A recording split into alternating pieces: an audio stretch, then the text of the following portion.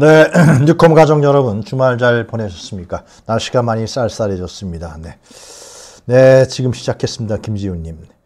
음, 김장철이 이제 얼마 안 남았죠? 네, 그런데 가정주부들과 여러분들 근심이 많으시겠습니다. 김장철 앞두고서 배추와 무 가격이 작년보다 무려 40%나 껑충 뛰었습니다. 배추 한 포기에 9,123원, 무 한 개에 3,561원. 예, 뭐 고춧가루라든가 새우젓이라든가 김장에 들어가는 여러 가지 비용까지 합치면은 김장 하려고 그러면은 비용이 많이 들고 어느 정도 사는 집 아니면 안 될 것 같습니다. 특히 가정집보다도 이렇게 되면 이제 포장김치 가격도 이제 오를 테고요. 음식점 운영하는 자영업자들은 이 김치 안 내놓을 수도 없고 말이죠. 어, 김치 안 내놓으면 손님들이 김치 달라고 그러고 깍두기나 어, 뭐 이런 식으로 대체를 요즘 하는 것 같습니다. 그나마 무가 조금 싸니까 어, 배추보다 하여튼 걱정만 늘어가는 겨울이 되는 것 같습니다. 자, 오늘인가 윤석열 한동훈이 만난다 그러죠. 독대는 아닌 것 같고요. 정진석 비서실장이 같이 옆에 배석한다고 합니다. 그러나 당대표 비서실장은 참석하지 마! 3인만 만난다 그러는데 하여튼 뭐 윤석열이 그래 한번 불러봐. 하고 싶다 그러니까 무슨 얘기 하나 한번 들어보자. 군기 좀 잡아보자. 어, 한동훈은 하여튼 가서 뭐 김건희 얘기를 할지 못할지 알 수 없습니다만 윤석열은 지시를 내리겠죠. 야 동훈아. 너 김건희 확실하게 네가 보호해라. 108석 지켜라. 괜히 까불고 나 배신 때리지 마라. 그러면 너 지금 수사하는 거 바로 그냥 깔 거야. 한동훈이 지금 서울중앙지검에서 수사받고 있죠. 네. 하여튼 뭐 한동훈은 좀 딜을 해볼라 그러겠죠. 그런데 과연 윤석열 형님이 그게 통할지 아니면 둘이서 서로 맞춰갖고 이거는 하고 저건 하지 말고 그러면서 나 좀 대통령 후보 좀 키워주세요. 그럼 제가 아, 보장하겠습니다. 아니면 한동훈이가 튀어서 형님 우리 갈 길 갑시다 이렇게 할지 전자에 한 표 던지겠습니까? 후자에 한 표 던지겠습니까? 여러분 네. 지금 나오는 거는 한동훈과 윤석열이 독대한다고 전 언론에서 뻥튀기 하는 것 같습니다. 뭐가 이루어지겠습니까? 네. 뭐두 사람은 루비콘강을 건넜다 그러는데 과연 한동훈이가 윤석열 앞에서 제대로 얘기할 것인지 제대로 얘기할 거였으면은 어떻게 하겠습니까? 언론에다 이미 큰 소리 쳤겠죠. 하여튼 간에 오늘 어떻게 하나, 두 사람이 어떻게 하나 아, 지켜보도록 하겠습니다. 이 전쟁 분위기가를 계속 고조시키는데 하여튼 이 무인기도 침투시키고 하니까 미국에서 갑자기 인도 태평양 사령관, 파파라 인도 태평양 사령관이 지난 16일 날 급거 방한해서 그러지 말아라. 만류했다는 전원이 상당히 신빙성이 있는 것 같습니다.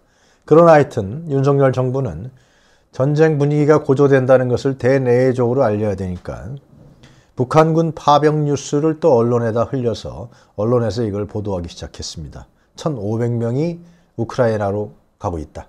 아, 러시아로 파견돼서 뭐 사진까지 찍어서 하는데 그런데 정작 이 우크라이나 전쟁에 상당한 그 예민한 그리고 긴장을 늦출 수 없는 미국과 나토는 이야기하고 있지 않습니다. 국정원의 대대적 홍보에도 어, 미션 샤벳 NSC죠. NSC 대변인은 보도가 정확한지 알 수 없다. 이렇게 해버렸습니다. 네. 프랑스 외무장관 파병 사실 자체를 확인하지 않았다. 별거 아니라는 거죠. 어, 설사 북한군이 간다 그래도 이 우크라이나 전쟁에 별 영향을 미치지 않는다 이렇게 판단하는 것 같고요. 마르크 리터 나토 사무총장은 확인이 불가하다. 음, 무슨 의도들이 있는지. 그래서 지금까지 북한군 파견 파병을 공식 확인한 나라는 한국과 우크라이나 딱 두 나라입니다. 네. 뭐 이렇게 한국의 국정원은 대대적으로 홍보할까요? 네, 북한군이 저렇게 우크라이나에 전쟁을 벌인다. 그러니까 남쪽에도 전쟁을 벌일 수도 있다. 그러니까 긴장해야 된다. 국지전이 일어날 수 있다. 북한군이 예를 들면 조금이라도 도발하면 우리는 확실하게 대응해야 된다. 그래서 무인기를 세 차례나 보낸 건가요? 뭐 확인을 안 해준다 그러니까 합참에서 우리가 확인할 수는 없습니다만은 하여튼 지금 윤석열 정권은 어떻게든지 전쟁을 벌이려고 몸부림을 치는 것 같습니다. 네. 전쟁 외에는 탈출구가 없다. 아, 이렇게 판단하는 것 같죠. 충안고 인맥, 국방부 장관, 또 방첩사령관, 그리고 777부대, 이제는, 이제는 107 경찰 대대까지 대통령실을 경호하는 충안고 인맥으로 쫙 깔아놨습니다. 자유권 발동. 하여튼 계엄령 준비에 만전을 기하고 있는 윤석열 정권이라고 지적하지 않을 수가 없을 것 같습니다. 자, 이제 저희가 금요일 날 어, 구체적으로 우리 김남기 여론조사 전문가하고 지적했습니다만은 이 여론 조작의 행태가 정말 대단합니다. 이제는 여론 조작을 했다라는 것이 점점 명태균과 국민의힘이 확실해지는 것 같고 그 정황과 증언들이 나오고 있습니다. 지금 어, 명태균이 했던 언론 보도에 나온 것 중에서 세 가지 중에 한 가지는 이 무응답층을 조작해서 해당 후보 지지로 돌릴 수 있다. 라는 하나의 조작 사례. 두 번째, 이 조사 샘플에 그 해당 후보, 윤석열이든 누구든 간에 해당 후보의 DB를 섞어서 여론조사를 돌려서 2,000명 샘플이라고 하지만 실질적으로는 무작위적으로 안심전, 안심번호를 한 것이 아니라 그래서 우호적인 DB를 섞어버리면은 자기가 밀고 싶은 후보를 더 나오게 만들 수 있다. 2%더 올려라. 네. 2% 차이가 나게 해라. 네. 아주 그런 기술을 갖고 있는 기술사들인 거죠. 그 다음에 PNR에서 raw data를 돌려서 나온 것 같고 그 받아서 통계표를 스스로 작성해서 재가공해서 이 완전히 조작하는 게 범죄 행위죠. 하는 조작 행위. 이 세 가지 형태가 명태균과 PNR 미래한국연구소가 했다는 조작 형태가 아니냐라고 여론조사 전문가가 저희 방송에 나와서 이야기했습니다. 이 외에도 조사 시기, 음? 또 조사 요일, 주말에 하느냐 평일에 하느냐, 조사 방법, 네. ARS로 하느냐 아니면 RDD 방식으로 하느냐 전화 면접으로 하느냐 안심번호로 하느냐 또 질문 순서 또 입력했을 때 오류인 척하면서 부정을 행하는 거 이게 답안지만 부정 행위가 있는 게 아니에요. 네. 그리고 결과를 수정하는 등 숱한 여론 조작 방법이 있다 라는 부분을 저희들이 한번 방송한 적이 있습니다. 아, 명태균의 범법 행위는 한 세 가지로 요약이 됩니다. 네.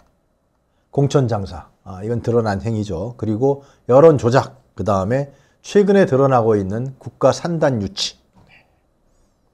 지방선거 출마자들에게 돈을 받아서 윤석열의 여론조사 비용을 냈다라는 것은 전화 녹취로 강혜경 씨의 증언으로 드러난 사실이고요.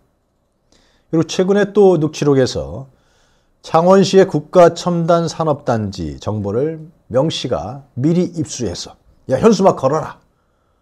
우리 유치된다. 그래서 그 다음날 윤석열 대통령이 국무회의에서 의결해서 사전에 안 거죠. 네. 어떻게 알았느냐. 현수막까지 사전날 걸었다. 대단한 사람입니다. 국가산단 유치로 해서 이권 개입을 하려고 했던 것인가요? 네. 그 막혀서 이번에 터트리는 건가요? 이 국가산단이 결국은 엑스파일이다. 이러한 얘기도 나오고 있습니다. 하여튼 어, 민주당에서 명태균 특검법을 해야 된다 그러니까 국민회의에서 화들짝 놀라갖고 그건 안 돼요 막 그랬는데 하여튼 이 여론조사 조작 아, 이 여론조사법도 손을 확실히 대야 될 것 같고요. 아주 스타 아주 일반적인 방식은 여론조사에 대한 텔레마케팅이죠. 저 밑에 있는 후보를 싹 올려서 제 1등 후보하고 서로 간에 여론조사를 해버리는 겁니다. 물어보는 거죠. 그러면 어, 그 B 후보가 누구야? 이름도 몰랐는데 어, 대단한 사람인 모양이지. 이러한 이것도 하나의 조작 행위 중에 하나죠. 여론을 조작하는 이 행위들, 국민 여론을 조작하는 민심을 조작하는 이 행위들이 버젓이 벌어졌다라는 사실을 다시 한번 말씀드릴 수 있을 것 같습니다. 그런데 정작 국회 국감에 출석하라 그러니까 명태균은 그렇게 언론에 나와서 떠들고 자기 자랑하고 과시하고 아무도 못 건드린다고 하는 명태균이가 갑자기 무릎이 아프다고 국감에 불출석하겠다고 합니다. 네. 검찰 좀 들여다보겠습니다. 우리나라 검찰의 흑역사. 제가 정리를 해봤는데요. 왜 이렇게 검찰 정권이 들어서서 우리 국민들을 못 살게 굴고 무소불위의 권력을 휘두르는지 한번 역사적으로 한번 짚어봤습니다. 첫째, 일제 강점기를 볼 수가 있습니다. 이 당시에는 어, 조선총독부 산하에 이제 검찰 기관이 있었는데요. 사실상 지금 대한민국 검찰은 이게 뿌리죠. 일, 자의 검찰이. 이 당시에 조선인 검찰 출신 검사들은 한 10% 정도 된다, 됐다고 합니다. 100명 중에 11명. 이 독립운동가들 고문하고 체포하고 별 행태들을 다 보였던 것이 일제강점기하의 검사들이죠. 공소제기 전에 압수수색, 무소무리의 권력을 이때도 가졌습니다. 식민지 치하에서의 검찰 더 했겠죠, 지금보다. 구인, 뭐 고소고발, 뭐 연장, 뭐 언제든지 잡아놓을 수 있고 또 수사기간도 연장할 수 있었고 일제 강점기의 검사들, 이 조선인 출신 검사들이 그 해방 이후에도 전혀 청산이 안 되고 살아남았었죠. 자유당 시절 어, 이승만 때는 이 오제도 검사라고 여러분 기억하실 겁니다. 이 오제도 검사는 뭘 했냐? 사상 검사라고 그랬죠. 네. 빨갱이 색출 검사. 이 검사들이 국민보도연맹을 결성했었어요. 어, 좌익 좌익 좌익 선양이 있는 사람들이 전향해서 전향을 시켜왔고 그런데 6.25 전란 중에는 이 몇만 명을 살해해 버렸습니다. 물론 이제 이승만 때는 경찰이 더 파워가 셌어요. 어? 미 군정화의 경찰, 일제 관료 경찰이 그대로 이승만 시대의 경찰이 되면서 친일 경찰들이 반공 뒤에 숨었었죠. 그 하여튼 그러나 검사들도 활약을 대단했습니다. 주로 오제도 같은 빨갱이 색출 검사들이었습니다. 박정희 때 유신 정권 때 구속 적부심제를 폐지하고요. 네. 무소불위의 권한을 헌법에 명시합니다. 기소독점권, 네. 수사권과 기소권을 동시에 갖게 된 것이 바로 박정희 때입니다. 조영수 민족일보 사장도 처형했고요. 그리고 전두환 때는 김대중 내란 음모 날조 사건 등의 수적 노릇을 한 게 누굽니까? 바로 대한민국 검사들입니다. 네. 찬란한 역사를 갖고 있습니다. 일제 강점기 이승만 그리고 박정희 독재 정권. 네. 이들은 역대 독재 정권 때 또 아류의 부패 정권 때 정치 재판의 주역이었습니다. 야 기소해. 만들어 죄. 기소했죠. 무조건 다. 그런데 민주화 이후에 검사들이 기소했던 공안 사건 대부분이 민주화 이후에는 그 전에 독재 정권 때 검찰들이 기소했던 사건들은 다 재심 때 무죄로 판결났습니다. 제1동포 유학생 간첩단 사건, 인혁당 사건, 또 민청학년 사건, 그리고 수많은 시국 사건들이 재심을 신청하니까 다 무죄로 판결났습니다.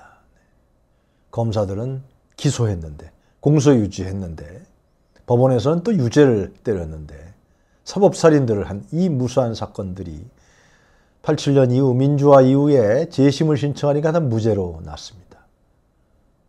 형장에 이슬로 사라진 분들도 굉장히 많죠. 인혁당 사건 연루자들은 그 다음날 바로 네. 이승만 때 조봉암 씨도 며칠 뒤에 바로 형장에 이슬로 사라져 버렸습니다. 이러한 독재 권력의 시녀, 거의 사냥개로 조롱받던 집단이 바로 검찰입니다. 시키는 대로 했다, 우리는. 네. 그러나 87년 민주화 이후에 이제는 최대 수혜자가 바로 검사, 검찰이 됐습니다. 마치 정의를 쥐고 있는 칼처럼 음? 위장 변모했습니다. 보안사와 경찰, 안기부, 보안사는 전두환 때, 그리고 중정, 음? 이 세력들이 민주화 이후에 퇴행하니까 이들의 권력 핵심 기관들이 사라져 버리니까 경찰까지도 민주화된다고 하니까 검찰이 이제는 안 보이는 권력의 핵심으로 부상하게 된 것입니다. 네. 민주화 운동은 국민들이 했는데 그 수혜 최대 수혜자는 검찰과 언론이었습니다. 특히 검찰은 언론과 협잡해서 피의 사실을 흘리고 여론 재판을 하는데 1등 공신이었습니다. 검찰과 언론의 합작품은 한두 가지가 아니었습니다. 네. 그리고 이명박 시대에 이명박 대통령을 BBK 사건이 일어났을 때 검찰이 덮어줬죠. 나중에 이것은 어, 특검을 통해서 BBK 사건이 실체가 드러났지만 이명박 정부 하에 검찰이 BBK 사건을 뒤졌는데 아무것도 없다. 그러면서 이명박 정부 시대에 검찰은 승승장구하고 청와대라든가 각종 요직에 진출하기 시작합니다. 네. 그러면서 검찰은 스스로 생각한 것입니다. 우리가 대통령을 만들 수도 있고 대통령을 떨어뜨릴 수도 있다. 그리고 대통령 권력을 우리가 잘 활용하고 이용하면은 우리는 권력 카르텔에 진입할 수 있고 함께 노조어서 배를 나아갈 수 있는 집단이 바로 우리 검찰이다.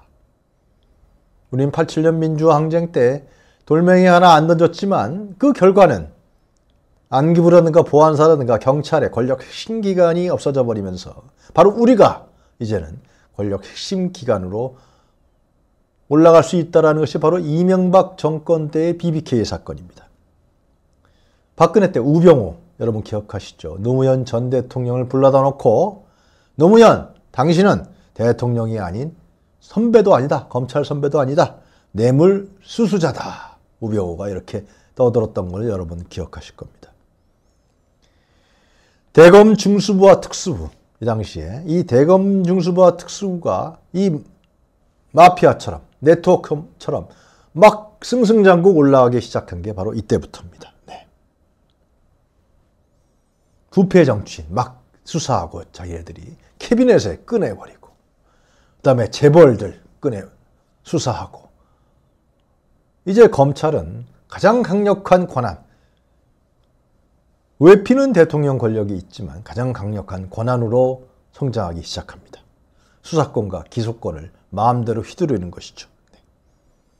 네. 노무현 대통령과 김대중 정부에서 견제 장치를 만들려고 했지만 실패했습니다. 노무현 전 대통령 검사와의 대화를 통해서 잘 해보시오. 했지만 자체 정화를 맡겼지만 네. 실패했습니다. 검찰은 우수 헛웃음을 짓고 나중에 논두렁 시계로 노무현 전 대통령을 수사하면서 사실상 노무현 전 대통령이 억울한 죽음을 하게 간접적으로 작동시킨 것이 바로 검찰 집단입니다. 그 다음에 박근혜 때 드디어 윤빠가 등장합니다. 네. 국정원 댓글 사건 때. 나는 사람에게 충성하지 않는다. 아, 아주 국민들한테 하여튼 윤빠 칭송을 받게 됩니다. 그 내부 의미는 사람에게 충성하지 않고 조직에 충성한다는 것이죠. 바로 검찰에게 검찰 조직을 위해서 나는 일어났고 싸우겠다. 네. 이 이렇게 민주화 운동에 돌멩이 하나 던져보지도 않고 승승장구했던 검찰. 그리고 정치인들과 재벌들을 수사하면서 대단한 정의의 칼을 휘두른 것 같았던 검찰이 문재인 정부에 와서는 바로 윤석열이라는 이름 하에 초고속 승진이 이루어집니다. 네. 적폐청산. 판사까지도 판사 한 100여 명을 수사했죠. 무서울 게 없습니다. 이제는. 그리고 윤석열은 기수 파괴를 하면서 뭐 이렇게 잘 보였는지 문재인 정부와 누구랑 같이 연결을 했는지 서울중앙지검장 네. 그 다음에 검찰총장으로 기수 파괴를 하면서 고속 승진하면서 윤빠가 검찰총장이 됩니다. 그리고 조국 법무부 장관이 검찰개혁하겠다고 그러니까 뒤늦었죠. 문재인 정부에서. 그랬더니 조국 장관을 난도질합니다. 그리고 마치 언론과 함께 조국 장관은 검찰개혁을 하려고 하는 것이 아니라 뭐예요? 내로남불의 상징이다. 그러면서 내로남불로 파고듭니다. 사모펀드를 했을 것이다. 사모펀드 수사해보니까 아무것도 나오지 않았어요. 네. 마치 언론과 함께 조국 장관은 난도질하고 검찰 개혁은 사라져버리고 네. 검찰들의 기득권만 사라진 유지되고 그리고 검찰 개혁을 하려고 했던 사람을 하나 하나 하나 하나 제거했던 게 바로 이때입니다. 네. 특히 언론과의 유착으로 특권 카르텔을 형성했던 건 우리가 지금까지도 보고 있는 이 황폐한 현실인 것입니다. 언론에 피의 사실을 알려서 여론 재판을 하고 우리는 개다 주인을 문다. 전에는 주인이 물어라 해서 물었는데 했던 사냥개였는데 이제는 우리는 개다. 문재인 대통령을 문다. 주인을 물었습니다. 이제 그래서 윤빠 검찰총장이 대통령이 됐습니다. 그리고 무소불위의 권력을 자랑하고 있고 지금도 검찰 권력 하나로서 이 정권을 지키고 있습니다. 지지율이 20%인데 불구하고 지키는 이유는 바로 검찰 권력 하나입니다. 그리고 그 검찰 권력에 충성하고 어떤지 줄 서서 권력을 누리고 이권을 개입하려고 하는 이러한 정치 검찰 무도한 검찰 때문입니다. 이번에 그래서 이번에 김건희의 무혐의 처분은 바로 검찰이 끝났다. 검찰 나 스스로 개다. 이런 걸 증명한 것이 결과적으로 증명했다는 것을 보여준 것입니다. 검찰은 한 사람 한 사람이 소왕국의 군주입니다. 서치하지 못합니다. 네. 대왕국의 황제한테만 잘 보이고 대왕국의 황제의 말씀만 잘 따르면 은 그 소왕국에 더 토지도 더 넓힐 수도 있고 노예도 더 가질 수 있고 네. 바로 소왕국의 군주로 변모한 대한민국 검찰인 것입니다. 죄가 없는 게 뻔해도 기소할 수 있고요. 죄가 많아도 기소하지 않을 수가 있습니다. 조작가, 회유, 검사실에서 술 먹이고 연어회도 먹이고 모해 위증 교사, 네. 또 법원까지도 겁박합니다.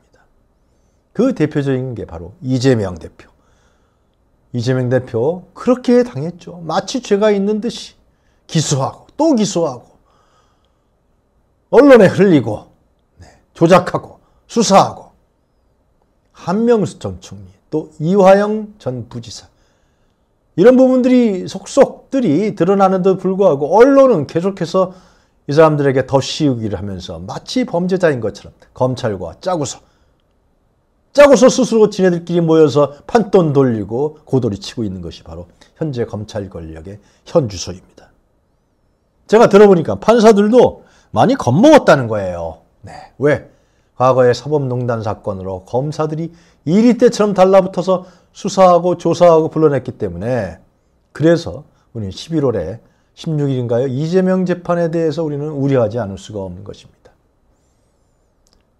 사법부 기능까지 상실돼 버리는 것이죠. 그리고 검찰들은 이제 공천까지 받아먹어서 국회에도 진출했습니다. 여러분 법사위에 있는 주진우 의원이라고 항상 나와서 고개 빳빳이 들고 말이죠. 얘기하는 사람이 있죠. 그 외에도 많은 검사 출신들이 그리고 또 검찰의 뭐 수사관 출신들이 국회에 진출했습니다. 그리고 검찰의 그런 특권과 카르텔과 이권을 보호하기 위해서 오늘도 내일도 국회에 배지 달고서 돌아다니고 있습니다. 지금이 이것이 현 주소입니다. 그래서 바로 우리가 아무렇지도 않게 거짓 브리핑을 하면서 김, 존경하는 김건희 여사님을 무혐의 처분해서 우리 검찰 정권은 영원하다를 선포한 것입니다.